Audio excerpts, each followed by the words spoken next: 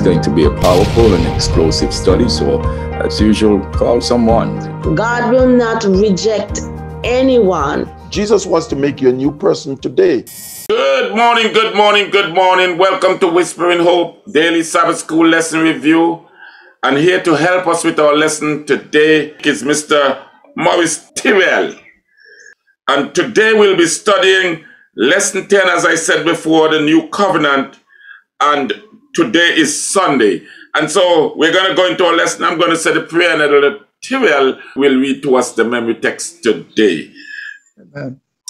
Let us bow our heads, eternal God and our Father. We are so thankful for your divine presence with us as we go through this lesson every day. Lord, we know that many persons have been blessed, and we pray that you will continue to widen our yes. territory, the number of yes. persons who listen, and that all our listeners will share this wonderful message with others.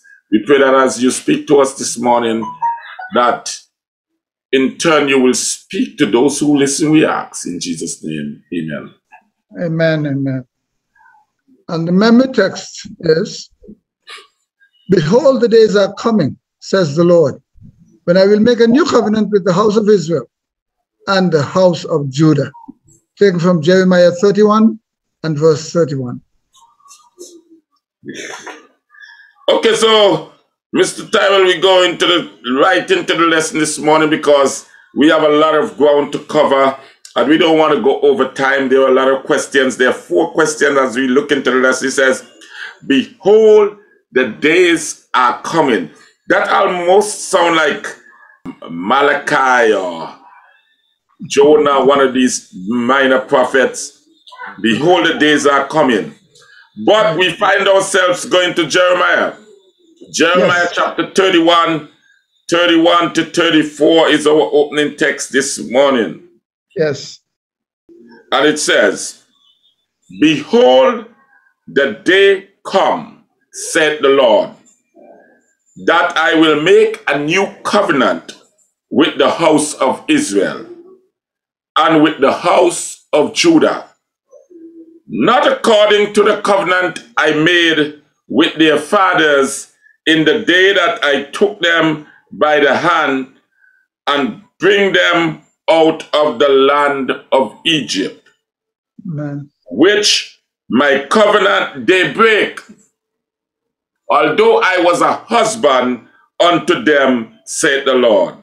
Verse 33 says, But this shall be a covenant that I will make with the house of Israel. After those days, said the Lord, I will put my law in their inward parts yes. and write in their hearts, and I will be their God, and they shall be my people. Yes. And they shall teach no more every man his neighbor, yes. and every man his brother, saying, Know the Lord, for they shall all know me, from the last of them unto the greatest of them said the Lord, for I will forgive their iniquity. Amen. And yes. I will remember their sins no more. Hallelujah. That is something to shout about this morning. But Elder Tyrell, could you just expound and give us your overview of the lesson? Behold, the days are coming, and that opening text. okay, this is interesting. Uh, among the many things that God mentioned in this text is there, there's a brighter day coming. Despite what we are going through, there is a day coming when he, he would um, release us. The question, who instigates the covenant? And according to the text, it is God himself. And whose law is being talked about here? And what law is this? It's, it's God's law. It's the law of God. It's Ten Commandments law. And let me just add something here. We there's nothing we can do, think, or say that is not covered by or addressed by one or more of God's commandments. So God's God's law is all inclusive. It's all inclusive. And uh, which verses stress the re- relational aspect that God wants with his people? Look at the, la- the last two verses, verses 33 and 34. He spells out in the, the relationship with his people. And then, you know, the question is asked, what act of God in behalf of his people forms the basis of that covenant relationship? And that, that, that comes out in the very last verse. He said he would forgive their iniquity no more. So the act of God in behalf of his people is his forgiveness. He's quite willing to, to forgive, forgive us our sins as long as we admit that we have sins. Elder Tyrell, the question there, which law is he talking about? Is it the Ten Commandments or his or his word? Is it the word he's writing, all his expressed words, or is it the law, the Ten Commandments? Okay, let me stress here. The Ten Commandments are all inclusive. Those commandments given by God in His wisdom, He addresses every part of our being, everything we ever we were or, or ever or ever hope to be. As I said earlier, there's nothing that that human beings can do, think or say, that is not addressed by one or more of those commandments. And when you take the commandments in their totality, you look at the first four verses. They, they, they refer to our relationship with God. And then the, the last six directs our attention to our relationship with our fellow men. So there's nothing outside of those commandments that we can do that are not addressed by God. Elder, Yes. we are looking today at Behold, the days are coming. And he says, This day is coming when I'm going to write the law. It's not going to be on two tablets of stone, it's going to be in their mind, in their heart. Correct. When is that day? What, what day is that we're talking about? The day is as soon as we accept God as our as our Savior. He, he inscribes in our mind, in our thinking, the direction in which we ought to go. And that direction is spelled out in His law. So it's the day of acceptance, when we've accepted Jesus Christ as our personal Savior. That is the day he- he's referring to. Okay, I'm going to come back to that as well. Now, the lesson is making a statement here. I'm not sure if you concur with it, but it says it is clear the new covenant is not so different from the old covenant made with Israel at Sinai. Mm-hmm. Do you concur? Yes, yes. The new covenant is fairly, is fairly similar to the old covenant because God has, has said He doesn't change. So whatever promise He made uh, initially, any subsequent promise is um, hinges on in whole or in part on that old or original covenant. Okay. So, you know, that's a little complicated for my students, so I'm still going to break it down. Okay. Is it that the old and new covenant are the same in any way, uh, in every way? Or is it that the new covenant is a fulfillment of the old covenant? The latter is correct. The new covenant, the new covenant is a fulfillment. And, The- and in what ways? Okay. When when when God pledged to his to his people, and as the, lesson brought up, he he brought them out uh, proverbially by the hand, and uh, he led them through the Red Sea into the Sinai uh, desert, and he he made that that pledge with them. These are these are the direction which you ought to go. Refer to, referring to the, the Ten Commandments. Now, those sorry, those commandments we, we we break. And so God has given us a new commandment, a new covenant, sorry, in his son, Jesus Christ, when he, He sent his son to die, to, to retrieve us from our sinful nature. And so that the new covenant that was spelled out in the birth and the life and the practices and the death and resurrection of Christ is a fulfillment of the old uh, covenant. Elder, I'm coming to you because I want my stu- uh, my uh, the followers in the chat this morning and those who will listen this to really understand. David says that with all my heart I have sought you. Do not let me stray from your commandments. Okay. I have hidden your word in my heart that I may not sin against thee. Now, in the lesson, it says here in Jeremiah 31 and verse 34, which we have read earlier, and I'll go over it for the benefit of those following us. It says in verse 34, And they shall teach no more to every man his neighbor, and to every man his brother, saying, Know the Lord, for they shall know, they shall all know me, from the least of them to the greatest, said the Lord, for I will forgive their iniquities and remember their sin no more. Why is this whole uh, discussion about sin coming up when David says, Thy law have I hidden in my heart, or thy word, that I will not sin against thee? If it is writing it on our heart, why does he have to say that he will forgive our sin and our iniquity? Our iniquity of the course is things that we're practicing. How can we be practicing sin when the law is written in our heart? Okay. You see, God has made us uh, independent thinkers. And yes, we are error prone. We are our sinful nature. We know His word, we accept His word, but we are subject and too often we yield to temptations. Mm-hmm. And, and that in, in, in many areas was the case of David.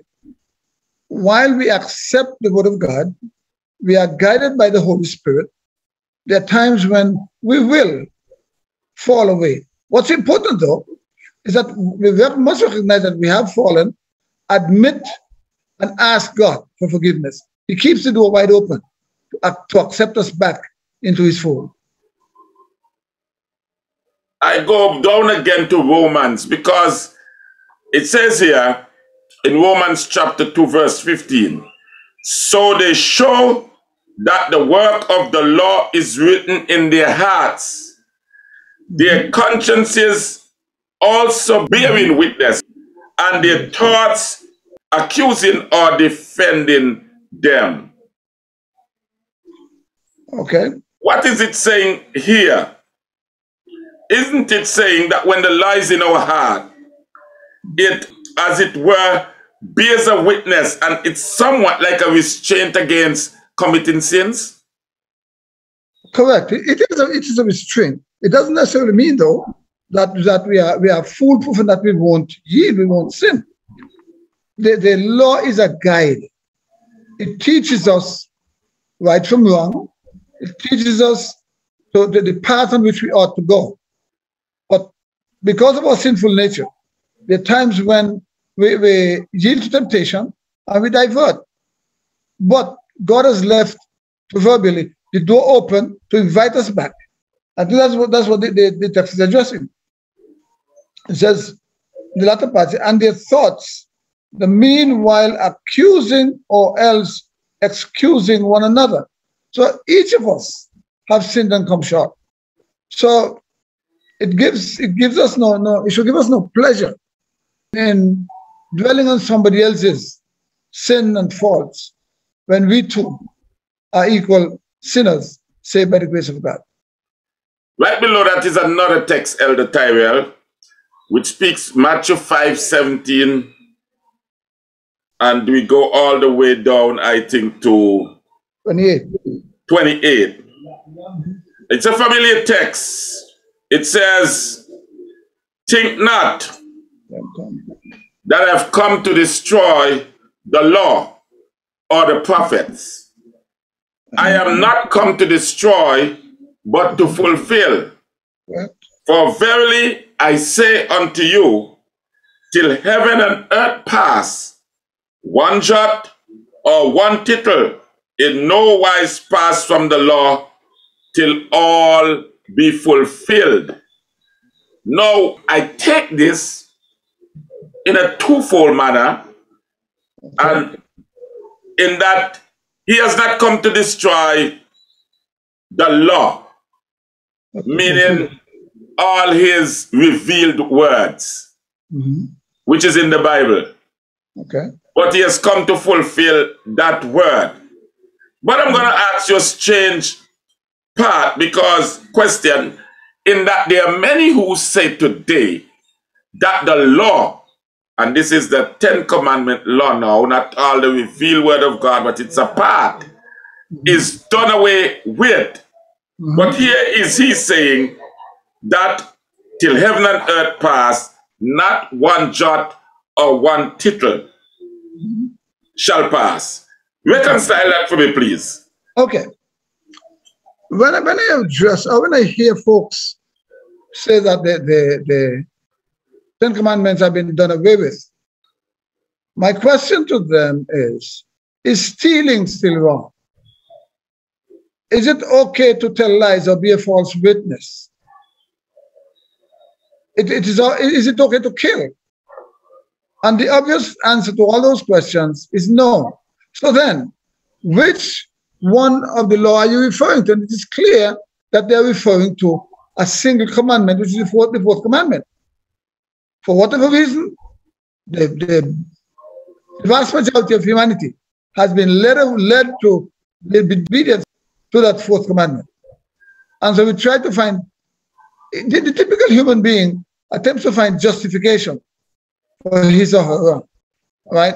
So, and then when I look at, at, at the, other, the other verse, It says, Whosoever shall break one of the least of these commandments, one, that's the Right. first point I wanted to bear in mind, mm. and teach men so, and shall teach men so, he shall be called the least in the kingdom of heaven. okay? But whosoever shall do and teach them, the same shall be called great in the kingdom. Correct. And then it's let us go with that first. What is it saying here? It is saying if we if we break one of those commandments, we are guilty of all. We would have broken all. Because um, the disobedience to God, irrespective of the, of the infraction, is disobedience. Uh, and, and so we find in, in much of Christendom the emphasis on breaking the fourth commandment. And that is what they're referring to as the law has been done away with. But I might add here, and uh, a word of admonition to my Christian friends there's absolutely no text in the Word of God, no text that replaces that fourth commandment. It was good yesterday, it is good today, and it will continue to be good through eternity. Verse 21 says, Ye have heard that it was said by them of old time, Thou shalt not kill, and whosoever shall kill shall be in danger of the judgment. So he's now getting specific and he's pointing directly to the Ten Commandments. So um, that supports your point earlier. And then it goes down, it speaks about if you offend your brother, uh, you know that your brother have aught against you. Let me put it correctly because I can't add or take away from the Bible. It says, Therefore, if you bring your, thy gift to the altar, and there remembers that thy brother hath aught against thee, leave thy gift before the altar and go away, go thy way. First be reconciled to thy brother, and then come and offer thy gift. Big thought, Mr. Tyrell. How many of us can do that? He didn't say if I know I did somebody wrong. Mr. Brother Tyrell there is not speaking to me for whatever reason. Hmm. I don't even believe I did the elder anything wrong. But he's not talking me. God says, Jesus, this is Jesus speaking. Go and find thy brother and when you set things right, then you can come, you can sing in the choir, you can preach a sermon, you can be the superintendent, you can bring your tithes and offering. But until you have done that, is that what he's saying here? Essentially, yes.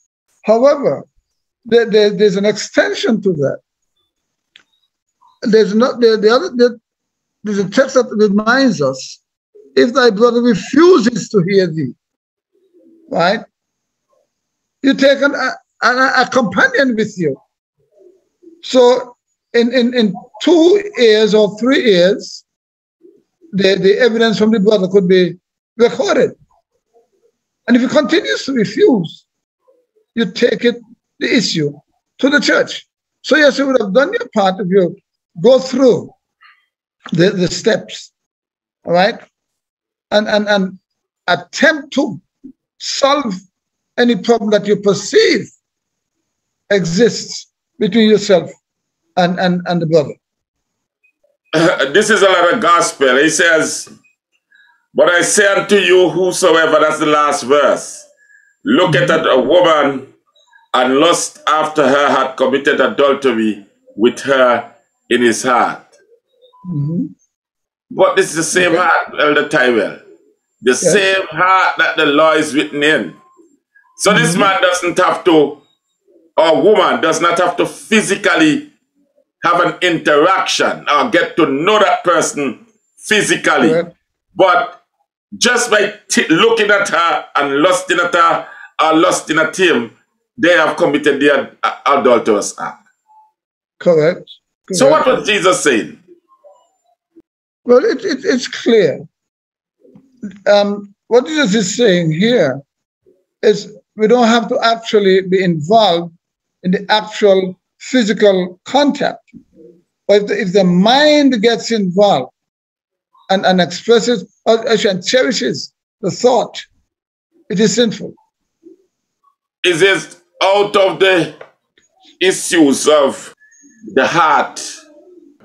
So it is the heart. That's why are we saying then, Elder, can we conclude after we have read those texts and read the passage that that is why it is essential for the law to be written in our heart because it is in the heart or the seat of the, the mind that sin is conceived and that's why it is necessary to put the law there That's right. That's right. You see, um, when we refer to having it written in our hearts, obviously it's not a physical um, writing, but it is part of our thinking. It it it um it consumes the way we think, the way we the way we do things, and and anything that we we want to do, we ought to reflect on how does the love of God addresses or speaks to what we're about to do or what we're about to think. we came out of last week lesson studying the sabbath and here's a question that i have to ask you in the highlighted area. He said look at the verse for today. How could you use them to answer the argument that somehow the ten commandments or specifically the sabbath are now void under the new covenant? Is there anything at all in those texts that we have just gone to this morning that makes that point? No, it is not. God's word is true forever. God has said in his word that I am the Lord, I change not. So what what God said yesterday, he's saying the same thing today. And will continue to, to say the same thing tomorrow and forever. Okay? Because if, if he were to, to change his word, question is, what would be our standard? His word changed not, so hence our standard is fixed. We have something to, to, to which we are, we are to gravitate, because that cannot change. Okay. As you go to the, what would you say is the essence that we have brought out of the lesson this morning? The essence, the essence that I gather from the lesson is that as we live today, we, we, we should expect a brighter day ahead, a brighter day coming. However, we ought to prepare for that day when it comes. We can't be like the, the five foolish virgins. We must prepare and maintain a state of, of, of preparation and readiness because it's not a question of if, it is when the day comes, we ought to be ready. I want to share with us this morning one thing. It says, the original premise of the covenant has not changed throughout time, through time. Each time the covenant has been offered, however, humanity, with its fallen, sinful nature, has broken the contract. But God has not given up on us. That's right. He still offers salvation if we choose to accept it. Correct. Behold, the days are coming. It was from this context that Jeremiah, the prophet of mourning, had been spirit led by the groundwork to the new covenant provisions and functionality. The divine law was to become etched in the cathedral of the heart. A new covenant priest would become inaugurated above, and he would function instead as the Levitical priest. Amen. The earthly sanctuary services would become swallowed up into the messianic and redemptive activity of a better covenant. What's that talking about? Um, Tyrell, I give you the last thing. That's my statement for this morning. Is it saying, dear, that this old covenant of slaugh- killing doves and uh, as we studied that the covenant was linked to the sanctuary last week and the Sabbath was linked to the sanctuary. And so in the sanctuary, we know that what was happening there is was a demonstration of how God acts out the plan of salvation. Is it saying now that that old covenant, that is what is done away now with because the new covenant has come and Jesus, the lamb slain from the foundation of this world, has fulfilled that old covenant and now that we have life more abundantly in Jesus? The, the, the remission of sins must be evidenced by the shedding of blood. That was laid out very early when God asked Cain and Abel to bring an animal sacrifice. When Jesus came and offered up his life and his blood was shed, his shed blood replaces all the all the animal sacrifices that that occurred previously. And his shed blood is spread to cover all of us as we yield our lives to him as we surrender to him and recognize him as our eternal savior Oh, the heights of Jesus' love, higher than the heights above, deeper than the deepest sea, lasting to eternity. And so, marvelous grace of our loving Lord, grace that exceeds our sin and our guilt. Yonder on Calvary's mountain poured, dear where the blood of the Lamb was spilled, that new covenant. Grace, grace, God's grace, grace. That will pardon and cleanse within. Grace, grace, God's grace, grace. That is greater than all our sins. Hallelujah this morning. I'm so thankful that in the garden back there we find the account in Genesis 3:15 that Jesus promised that he will put enmity between thee and the woman, between thy seed and her seed.